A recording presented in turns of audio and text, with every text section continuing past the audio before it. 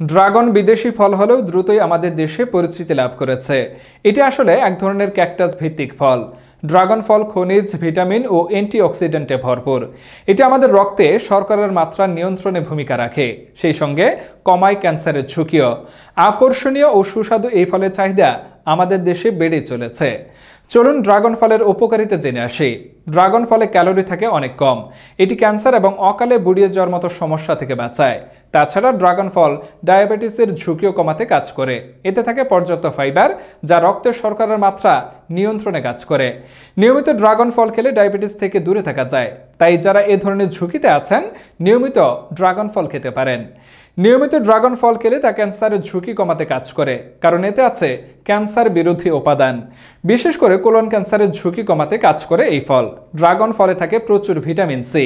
তাই এই ফল খেলে রোগ প্রতিরোধ ক্ষমতা বাড়ে দ্রুত। এটি ক্যান্সার ছাড়াও আলজাইমার্স, পার্কিনসন, ডায়াবেটিস রোগের ঝুঁকি কমায়। হজমের জন্য অত্যন্ত উপকারী হলো ড্রাগন ফল। এটি আমাদের শরীরের উপকারী ব্যাকটেরিয়া বৃদ্ধিতে সাহায্য করে, যে কারণে হজম ক্ষমতাও ভালো থাকে।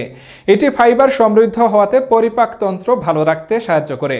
তাই হজম শক্তি ভালো রাখতে চাইলে নিয়মিত ড্রাগন ফল খাওয়া দরকার।